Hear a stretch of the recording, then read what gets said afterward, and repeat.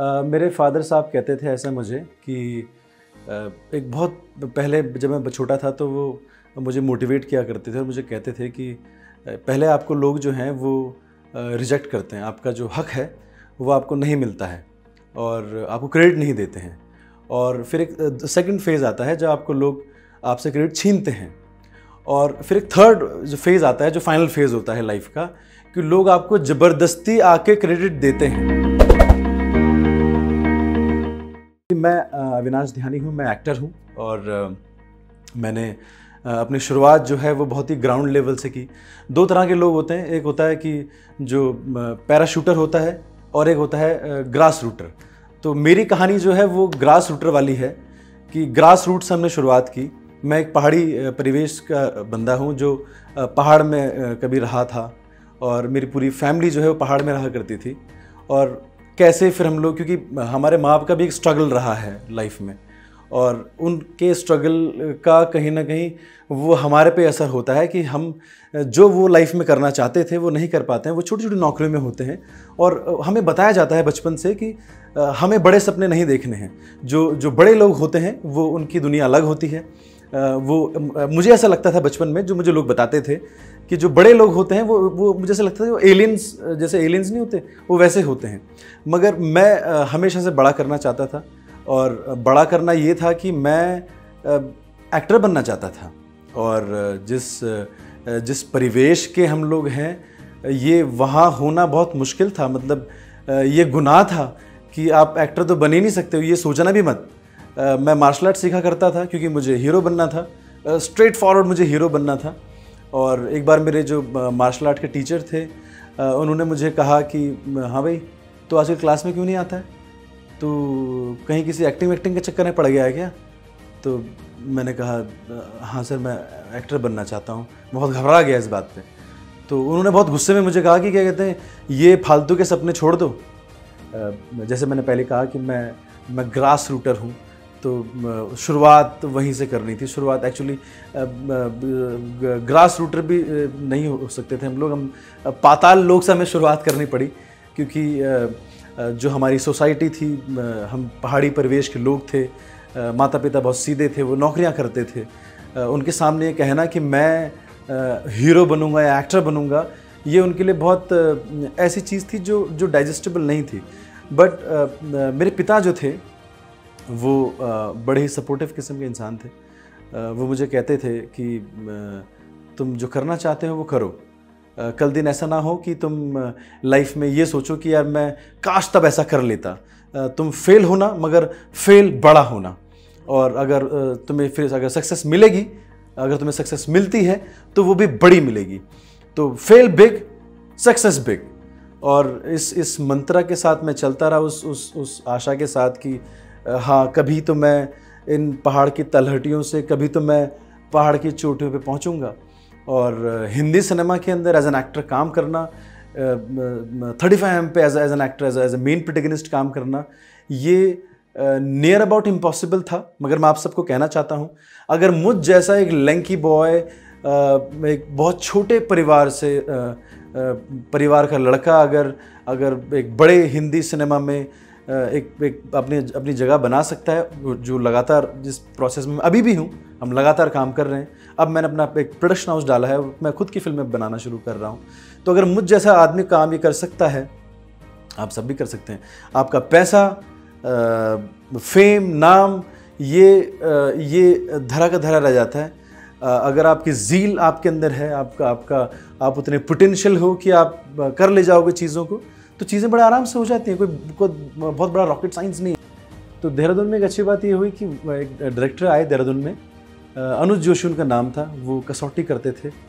मुझे मालूम चला कि वो फ़िल्म के डायरेक्टर हैं, वो सीरियल बनाते हैं और यहाँ वो कोई छोटी मोटी फ़िल्म बना रहे हैं जिसके लिए वो यहाँ पे आए हैं। मुझे अपॉर्चुनिटी तलाशनी थी और opportunity by hook and crook कैसे भी मिले आप उसे ग्रैप करो। सही आदमी वही है जो अपॉर्चुनिटी को सही टाइम पे ग्रैप करें। अपॉर्चुनिस्ट होना बिल्कुल ख़राब बात नहीं है। जो लोग बोलते हैं, आप बहुत बड़े अपॉर्चुनिस्ट हो, बिल्कुल गलत बात है। अपॉर्चुनिस्ट बनो बट इन राइट वे तो मैं उनके पास गया और मैंने उन्हें कहा कि, सर, मैं आपको असिस्ट करना चाहता हूँ। उनके पास ऑलरेडी बहुत सारे असिस्टेंट्स थे। मैं इकलौता बेटा था मेरे घर पे और मुझे कोई कमी नहीं थी किसी चीज़ की, कि मुझे ना खाने की कमी थी, ना पीने की, ना पहनने की कमी थी। मगर जब मैं उनके असिस्ट करने लगा तो मुझे समझ में आया कि आपको खाना थोड़ा लेट मिलेगा। आप नए हो फिर कहानी शुरुआत यहाँ से होती है कि क्योंकि मेरे लायक कोई काम नहीं था उस ऑफ़िस में तो न क्योंकि मैं छोटा बच्चा था उस समय मैं सत्रह साल का था, और वो मुझे कुछ किसी काम को करने के लिए कहते भी नहीं थे कि आप ये काम करो या ये काम करो। तो मैंने देखा अराउंड कि मेरे आसपास क्या काम है जिससे मैं इनको, इनकी नज़रों में चुभूँ ना मेरे बॉस की और वो मुझे सिखाएँ कैसे ना कैसे करके। तो मैंने देखा कि वहाँ पे एक सिंक है जहाँ पे बहुत सारे बर्तन पड़े होते हैं। तो बर्तन धोने से मैंने काम शुरू किया, मैं बर्तन धोता था। सब लोग खाना खाते थे, मैं बर्तन धोता था। ब्रेकफास्ट के, लंच के, डिनर के मैं सारे बर्तन धोता था और उनके साथ बैठता था। मैं अपना टाइम वेस्ट नहीं करता था। मैं देखता था कि क्या कहते हैं, वो कैसे शॉर्ट डिवीज़न कर रहे हैं, वो कैसे राइटिंग कर रहे हैं, वो कैसे कैसे सारी चीज़ें कर रहे हैं। और धीरे धीरे ऑब्जर्वेशन से चीज़ें आने लगी। बॉम्बे जाने से पहले ही मैं सिनेमा की टेक्निकलिटीज समझ गया था कि लाइट कैसे काम करती है की लाइट क्या होती है और एक्टर को कैसे लाइट लेनी होती है। धीरे धीरे मैं समझ रहा था सारी चीज़ें। और अगर आप एक गुड लिसनर हो सुनना बड़ा ज़रूरी है। तो इनिशियली था कि जब मैं नाटक भी करता था तो कई सारे लोग ऐसा कहते थे कि यार, मेरा रोल बड़ा कर दो, मेरा रोल छोटा कर दो। मैंने कभी किसी से नहीं कहा कि मेरा रोल बड़ा करो या छोटा करो। मुझे जो मिलता था, मैं उसको पूरी शिद्दत से निभाता था। क्योंकि मैंने अगेन वही कहा कि जील अगर आपके अंदर है, शिद्दत अगर आपके अंदर है तो वो काम करेगी। थोड़ा लेट काम करेगी, मगर काम करेगी। और लिसनर सक्सेस का मंत्र यही है कि you have to be a good listener जब आप काम सीखने जाओ तो अपना मुँह बिल्कुल बंद रखो और कान खुले रखो, आँखें खुली रखो, जिससे आप सारी चीज़ें ऑब्ज़र्व कर पाओ, देख पाओ, समझ पाओ। तो मैं वही करता था, मैं चुपचाप एक कोने में बैठता था, अपने नोट्स बनाता था, कैसे कैसे वो लाइट्स बना रहे हैं, कैसे कैसे वो बता रहे हैं कि लाइटिंग कैसे होगी डायरेक्शन कैसा होगा लुक कैसा जाएगा। तो ये सारी टेक्निकलिटीज़ जब मैं समझता गया तो इससे आसानी, इससे बात ये हुई कि धीरे धीरे मुझे जब मैं बॉम्बे गया तो मैं मैं अनभिज्ञ नहीं था सिनेमा को लेके कि ये कैमरा क्या होता है लेंस क्या होता है, ये लाइटें कैसी, अजीब सी हैं, ये कैसे काम करेंगी। एज एन एक्टर मेरे पास टूल्स थे कि मैं कैसे परफॉर्म करूँगा लाइट के आगे? अगर मेरे साथ सामने कोई एक्टर खड़ा है तो मुझे कैसे हल्का सा उसको बिना बोले, हल्का सा साइड हो कि मुझे कैसे अपनी लाइट लेनी है? नॉलेज अगेन सारी बात आती है नॉलेज पे। तो जो भी आप लोग एक्टर बनना चाहते हो लाइफ में जो भी आप करना चाहते हो, वो बहुत ईजी है अगर आप उस पर उस पर पूरी जील से काम करोगे।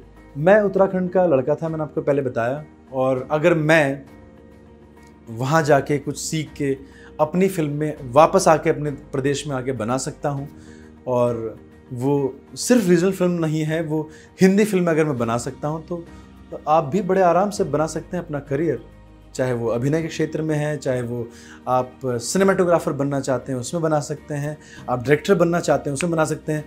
सिर्फ़ और सिर्फ़ आपको पढ़ना है। दैट्स इट और आजकल ऐसे ऐसे गैजेट्स हो गए हैं, इतने सारे इंटरनेशनल फ़िल्म फेस्टिवल्स हैं, जहाँ पे मोबाइल की फ़िल्में एक्सेप्ट की जाती हैं। ये आपको शायद पता नहीं होगा, आप गूगल करेंगे तो आपको मालूम चलेगा।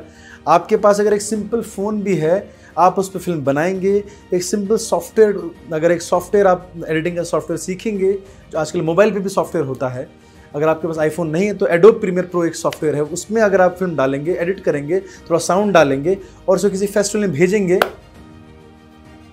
एक लड़की है रीमा दास।